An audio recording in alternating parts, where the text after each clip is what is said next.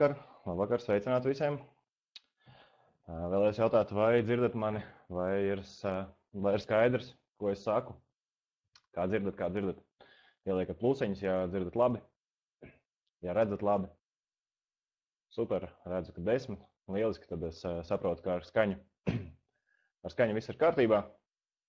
Labvakar, labvakar visiem. Nu, ko tad sāksim šovakar?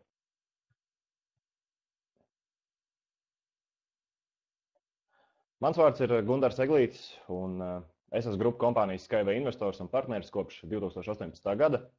Grupu kompānijas Skyway Latvijas reģiona speakers. Jā, šodien vēlos jums pastāstīt par mūsdienu transporta problēmām un par risinājumiem, kādus piedāvā slēgtās akcionāru sabiedrības stīgu tehnoloģijas galvenais ģenerāla konstruktors un inženieris Anatolijas Eduardovs Šņīckis. Šeit mēs redzam ilustrāciju, kas ir bijusi Krievijā uz šokolādes konfekšu kārbes. Varat redzēt, ka šī ilustrācija ir zīmēta 1914. gadā. Un jau tad mākslinieks ir iztēlojies, kā tad varētu izskatīties transports nākotnē. Ja pievērsīsiet uzmanību bildes labajai pusē, tad var redzēt, ka pa gaisu brauc kaut kas līdzīgs tramvajam. Jā, arī šajā ilustrācijā jūs redzat, kā automašīnas un cilvēki drūzmējās pa zemes virsmu, bet otrajā līmenī transports bez problēmām turpina savu kustību un gaitu. Arī šajā ilustrācijā varam pamanīt to, ka ir saskrējies tramvajs ar automašīnu. Cilvēki bēg uz visām malām, cenšoties izvairīties no sadursmes. Bet tāpat laikā augšā mēs redzam to, ka tramvajiņš tikpat bezbailīgi un brīvi kursē. Jo šo transportu, kurš ir otrajā līmenī, pirmā līmeņa transporta problēmas neskar. Jā, nu, tad šeit mēs redzam jau reālo situāciju, kāda ir mūsdienās sastrēgumi. Transports eh, nespēja tikt galā ar eh, viņam nosprosto uzdevumu. Jā, nu tad eh, katru gadu auto avārijās aiziet bojā vairāk kā pusotras miljonus cilvēku. Un tas ir vairāk nekā ņemot visas pārējās transporta nozares kopā, kas ir kuģniecība, aviācija, dzelzceļi un citi transporta līdzekļu veidi. Transporta krahs uh, diezgan smagi iedragā ekonomiku. Un, uh, kā mēs redzam, ostas nespēja tikt uh, galā ar kravu pārpildījumu, un kuģiem ir jāstāv dīkstāvē, kamēr šīs ostas šīs kravas izdala uz attiecīgajiem punktiem. Ja, tātad pirmās divas problēmas, ar kurām mēs saskaramies, Tas ir, ir tas, ka mums šis transports mūsdienu ir nedrošs un transporta ceļi ir ļoti noslogoti.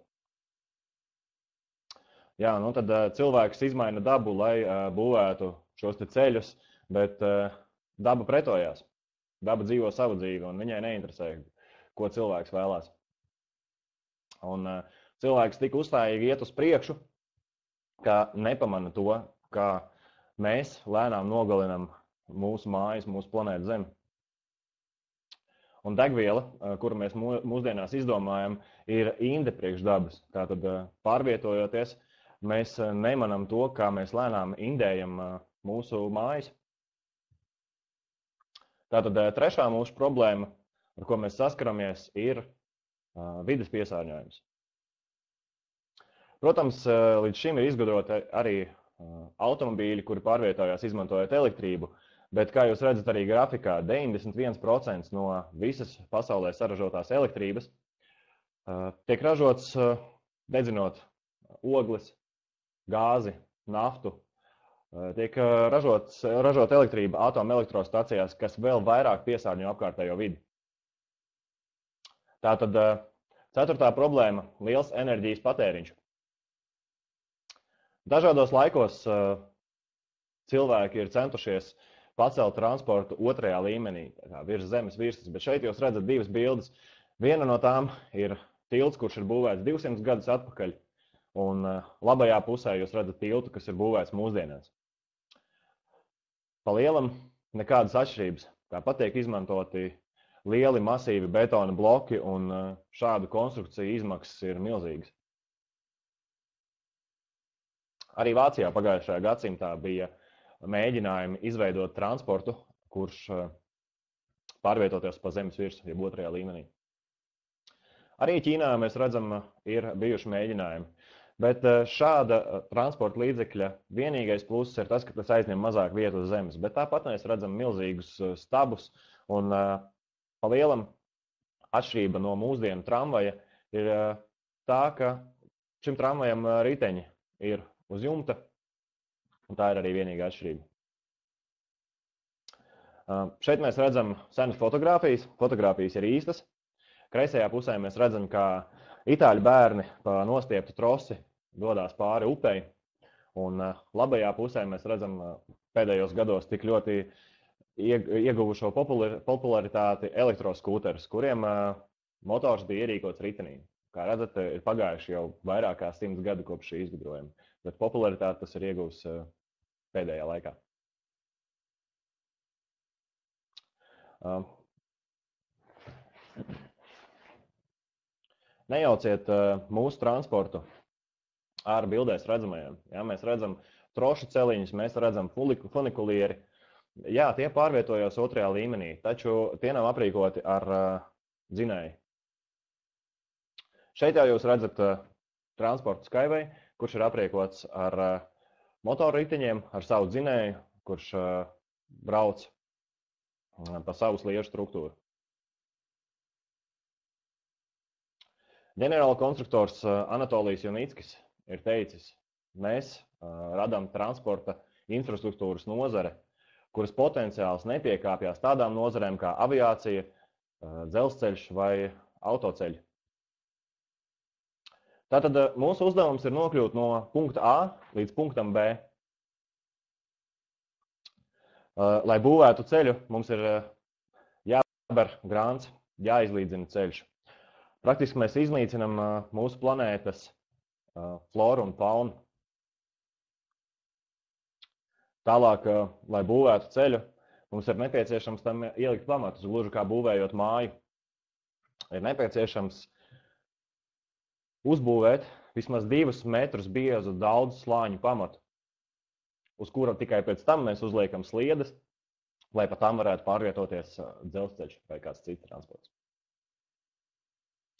Lai saglabātu ainavu, mēs varam transportu pacelt otrajā līmenī, uzbūvējot tiltu.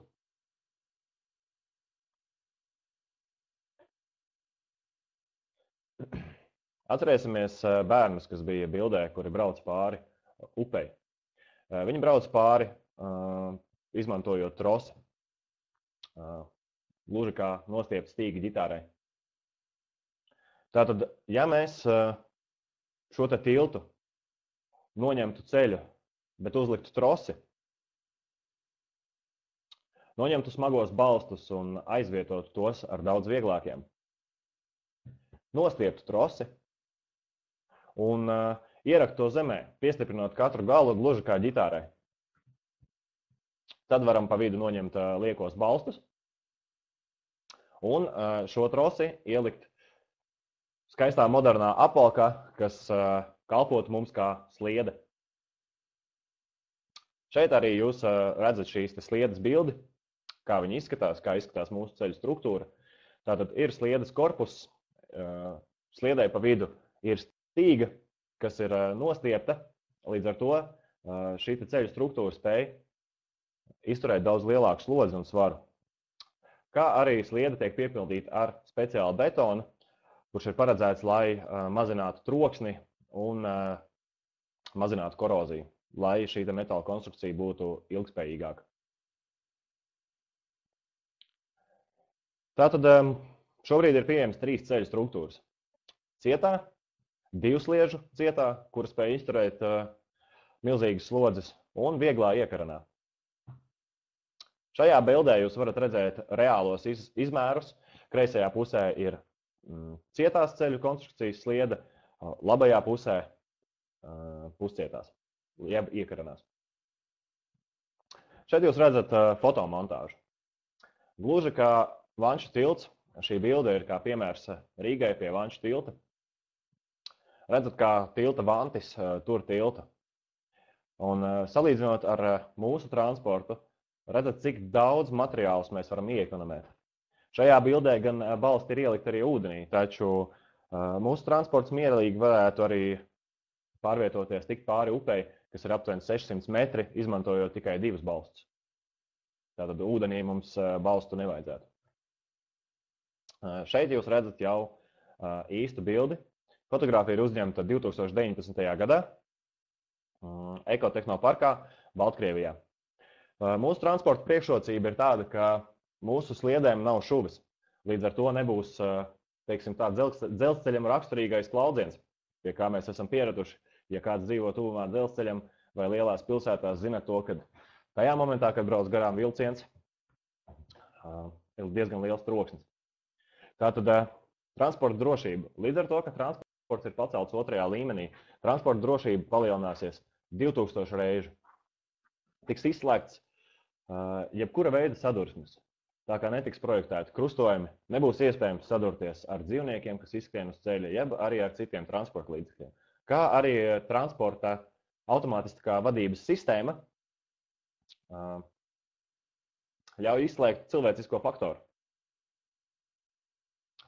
Šeit jūs redzat, kā mūsu motora ritenis un viņa prec, ne preclīdes, bet teiksim, preclīdes sistēmu, lai transports nenoiet no sliedēm. Tātad, kā mēs varam mazināt slodzi, kas tiek izdarīta uz mūsu ceļu struktūru? Mēs varam vienu lielu sastāvu sadalīt vairākos mazos. Līdz ar to slodze uz mūsu ceļu struktūru mazināsies. Kā arī varam transportu, transportu laist ne, ne tikai reizi stundā, bet kaut vai katras 30 sekundes. Tātad, ja apvienojam šo motoru riteni ar trosi, mēs iegūstam pilnīgi jaunu transportu. Šeit jūs redzat, kā mūsu motora ritenis izskatās dzīvē. Šis ir viens no lielākajiem uh, izgudrojumiem šajā tehnoloģijā. Vienkāršība, kompaktums, jauda, minimāla pretestība braucot uh, tērauda ritenim pa tērauda sliedi.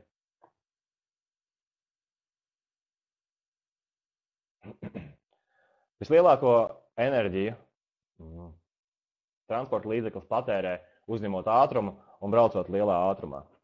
Tad vislielākā problēma ir aerodinamika, gaisa pretestība. Paceļot transportu otrajā līmenī, mēs varam sasniegt vēl nebijušus rādītājus. Aerodinamika uzlabojās mm, vairākas reizes līdz ar to, ka gaiss, un pateicoties arī mūsu transporta līdzekļu forma, transporta līdzeklim braucot pa gaisu, gaisa tam vienmērīgi aptek, un līdz ar to gaisa pretestība samazinās līdz minimumam. Līdz ar to mēs ietaupām elektroenerģiju kustībā.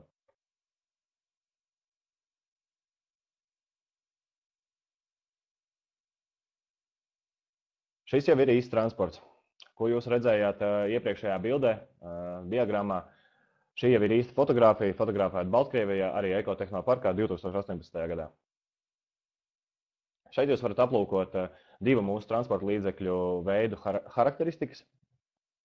Tātad eh, redzam, ka eh, vienam pasažierim izmantojot pilsētas transportu, lai nobrauktu 100 km ar ātrumu 100 km/h, ir nepieciešama vien 120, 120 ml degvielas. Un paskatieties, ātrums 500 km/h, lai nobrauktu 100 km, gandrīz litrs degvielas. Šie rādījumi ir neticami. Tātad mēs saskaramies ar ceturto problēmu. Liela enerģijas patēri, liels enerģijas patēriņš. Šajās diagrammās jūs varat aplūkot rādītājus. Tātad kapitālās izmaksas, eksploatācijas izmaksas, enerģijas patēriņš, vidas piesārņojums, transporta drošība. Ar zaļā diagrammu ir atzīmēts mūsu Skyway transports. Kā redzat, pēc diagrammām mums līdzīga nav. Un mēs uh, izraujamies priekšā pēc katra no rādītājiem. Grafikā varam redzēt mūsu stīgu transporta Skyway pārākumu. Šobrīd vienīgais transporta līdzeklis, kurš pārvietojās ātrāk, tā ir lidmašīna. Bet arī tas nav uz ilgu. Šeit jūs redzat modernākos transporta līdzekļus. Daļa no viņiem jau ir pieejami dzīvē, daļa no viņiem tikai vēl tiek izstrādāta. Tad jūs redzat salīdzinājumu ar viensliežu transportu, ar vilcienu uz magnētas pilveniem un amerikāņu projektu Hyperloop. Tad jūs redzat, ka mūsu transports ir atzīts par visdrošāko. Tātad varam būvēt transportu jebkurā vietā. Ātrums, kuru vēlamies panākt, un panāksim, ir līdz 1200 km/h. Un šeit ir pats svarīgākais - transporta izmaksas, tā būvniecība. Mūsu cenas ir sākot no desmit reizēm mazākas kā jebkura cita veida transporta būvniecība.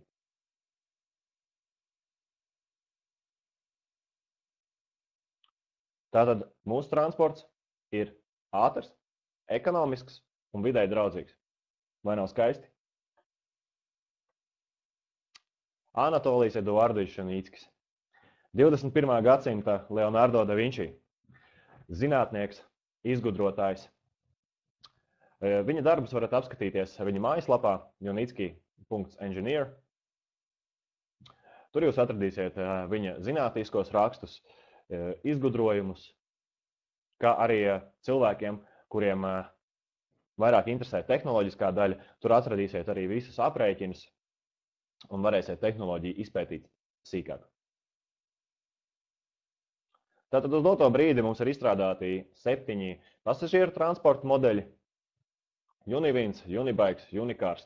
Unikāra un Unibūsa īpašības ir tās, ka viņas var sakomplektēt vairākos vagonos, tātad līdz pat 200 pasažieriem. Kā arī četru veidu kravas transports. Redzat to, ka mūsu transports var iekļauties jebkurā ainavā, tas pārvietojās pa zemes virsmu un ļoti viegli integrējās. Redzam, ka kalnu meža ainavas paliek neskartas, un mūsu transports ideāli iedarās šajās ainavās. Kā arī risinājumi pilsētai. Mūsu transportu var izlaist cauri ēkai. Tā neizdarīs nekādu spiedienu uz pamatiem, tā kā mums ir sava ceļu struktūra. Transports neaizņem daudz vietas, un ļoti viegli tas varētu pārvietoties starp ēkām vai pat cauri ēkām. Šeit redzam izstādi, kas notika Berlīnē 2018. gadā. Inotrans. Inotrans ir lielākā transporta un loģistikas izstāde pasaulē, kas notiek reizes divos gados Vācijā. Kopumā Skyways līdz 2020. gada sākumam esam piedalījušies vairāk kā 18 starptautiskās izstādēs. Un eh, katrā no šīm izstādēm esam ieguvuši lielu uzmanību. Eh, redzat, augšējā kreisajā pusē, kā darbinieki no Šveices trošu celiņa, tā, gaisa tramvajiņa, darbinieki atskatās uz mūsu stendu, jo mūsu stendam nevar paiet garām. Anatolijas Junītskis rokās tur pirmos certifikātus. Lai tehnoloģiju integrētu sabiedrībā, to ir nepieciešams certificēt, kā jebkuru transportu, it īpaši pasažieru. Esam saņēmuši 83 patentus 18 valstīs, no ASV līdz Ķīnai. Certifikāti, apbalvojumi, patenti. Šajās bildēs jūs redzējāt mazāk kā vienu desmito daļu no visiem panākumiem, kādi mums ir. Protams, eh, Anatolijas eh, Edvards Šunīckis nespēja to izdarīt viens pats. Lai eh, piepildītu šādu projektu, ir nepieciešama komanda. Uz to brīdi kompānijā strādā vairāk kā tūkstots inženieru, konstruktoru, grāmatveži, biologi, kā arī citi darbinieki. Viena no mūsu ražošanas ēkām, nevis ražošanas, bet konstruktoru birojiem, atrodas Minskā. Te ir četri stāvi, divas treptelpas un kopā mums ir 80 konstruktoru biroji. Kopējās platības ražošanas un konstruktoru biroju pārsniedz 10 000 kvadrātmetru.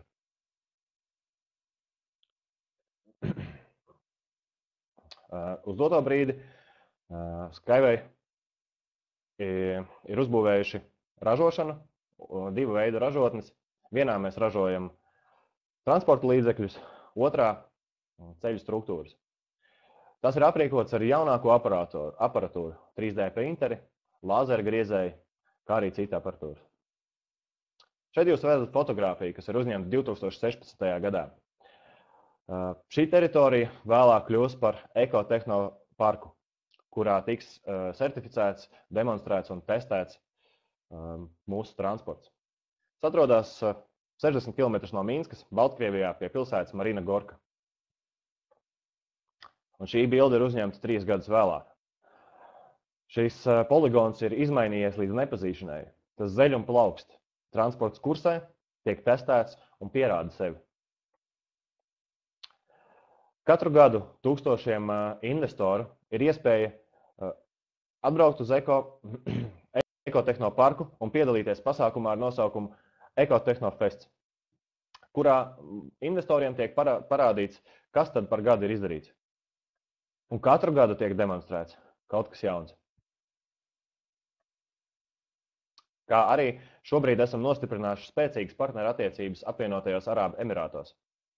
Tur šobrīd tiek būvēts Skyway inovāciju centrs Šārdžas Emirātā. Apvienotie Arābu Emirāti piešķīra mūsu projektam zemes gabalu, lai testētu un certificētu mūsu transportu tropu un subtropu joslām. Tas ir nepieciešams, jo klimatiskās zonas atšķirās. Šeit jūs redzat foto, kas ir uzņemti apvienotajos Arābu Emirātos būvniecības laukumā. Tātad 2019. gadā jau bija pirmais ceļš.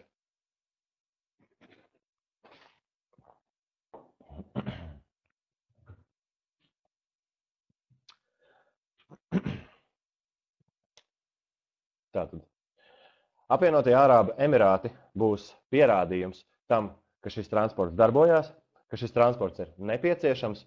Tas būs kā atspērienu solis tuvajiem austrumiem un Āzijai.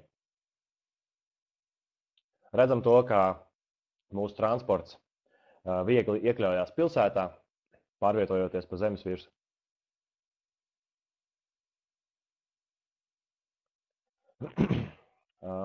redzam to, ka mūsu transports ar laiku iekļausies sabiedrībā, un tas vairs cilvēkiem neliksies, neliksies tik neparasts. Ka mums arī neliekās šobrīd neparasti tramvaji vai metro. Tātad mūsu transports pirmkārt inovatīvs, virszemes, ātrgaitas, drošs, ekonomisks, viegli būvējams un integrējams un vidē maksimāli draudzīgs. Sakiet, lūdzu, vai ir kādi jautājumi par tehnoloģiju? Vai kāds vēl, kā, kādam kaut kas nav skaidrs?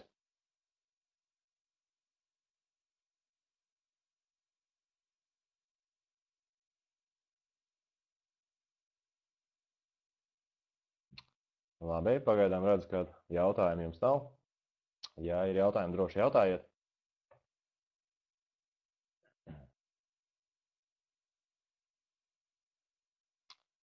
Tad uh, projekts tiek attīstīts, kā jau minēju, lai uh, tehnoloģiju integrētu. To ir nepieciešams certificēt. Un, uh, lai tehnoloģiju certificētu, to ir nepieciešams, kā jau, kā jau minēju, uzbūvēt trases, transportu. Visa uzņēmuma attīstība, visa projekta gaita tika sadalīta 15 attīstības etapos, kur katrā no etapiem ir nosprauts konkrēts mērķis un uh, konkrēts finanses, kas ir nepieciešams, lai šo etapu pabeigtu. Šobrīd mēs atrodamies 14. etapā un esam uz finiša taisnes, lai uzsāktu mūsu projekta mm, attīstību jau jaunos līmeņos, teiksim tā, jaunos horizontos. Mūsu projekts, mūsu projekts attīstās tikai un vienīgi ar tautas finansējumu palīdzību, kur katram cilvēkam ir iespēja piedalīties un atbalstīt mūsu projektu. Transports nav vienīgais projekts. Anatolijas Junīskis ir izstrādājis arī ekomājas, kuras pilnībā spēs sevi um, aprūpēt ar visu nepieciešamo, ar elektrību, ar ūdeni, ar gaisa ventilāciju. Līnija pilsētas, kas ir uh, nākotnes plāns, uz ko mēs tiecamies. Vidē draudzīga dzīve, kur zemes virsma pieder mums, cilvēkiem, gājējiem. Transports bezrūpīgi trauksies virs zemes virsmas.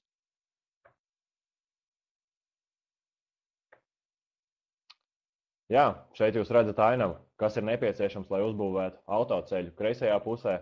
Un, kas bija, kādas darbības tika, nepiecieš, tika nepieciešams veikt, lai uzbūvētu dzelzceļu kalnos. Un šeit varam apskatīties pāris bildes, tās ir ilustrācijas, kurām ir aptuveni simts gadu. Redzam to, ka cilvēki jau ir centušies pacelt transportu otrajā līmenī, bet nevienam īsti tas nav izdevies tā, kā to izdodas uh, izdarīt Anatolijam Juniskim.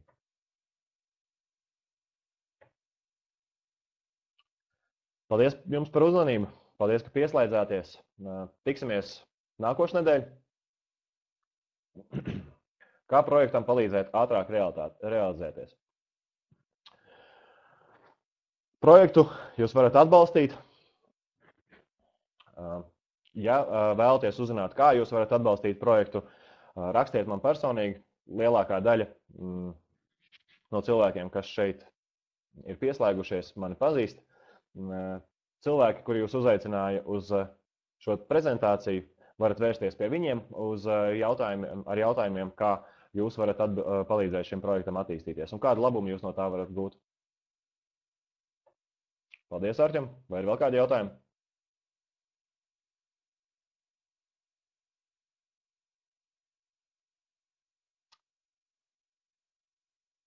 Paldies jums visiem par uzmanību. Nākošā prezentācija būs šajā pašā laikā, nākošais pirmdien, kur stāstīšu ne tikai par tehnoloģiju, bet arī par uh, jaunumiem un kas mūs sagaida uh, šogad, uz kurieni mēs tiecamies un kāda ir mūsu vīzija šim gadam. Paldies jums liels par uzmanību. Tiekamies nākošais nedēļa. Uz tikšanos!